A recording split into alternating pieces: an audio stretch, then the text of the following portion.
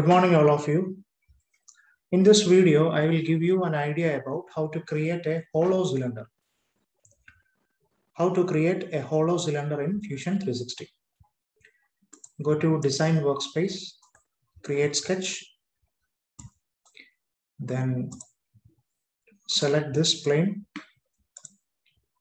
go to Center Diameter Circle,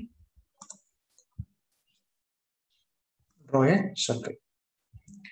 Then go to sketch dimension, select this circle, change the diameter into 62 millimeter. So now this is this diameter is 62 millimeter.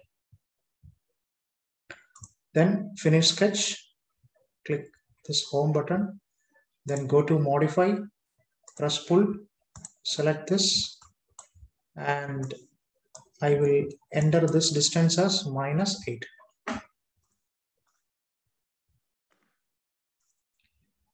Then I will again go to create, create sketch, select this surface. Then select the center diameter circle, draw a diameter with 56, diameter 56.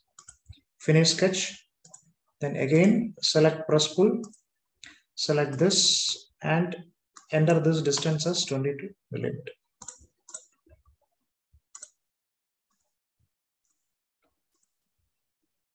Okay. So now you can see so this is the hollow cylinder. Okay. So in this in this activity in this tutorial you you are actually created a hollow cylinder. Okay. So sketch the circles using center point and diameter.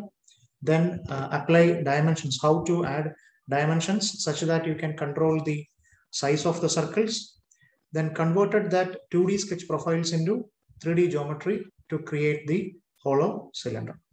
So practice this. Thank you.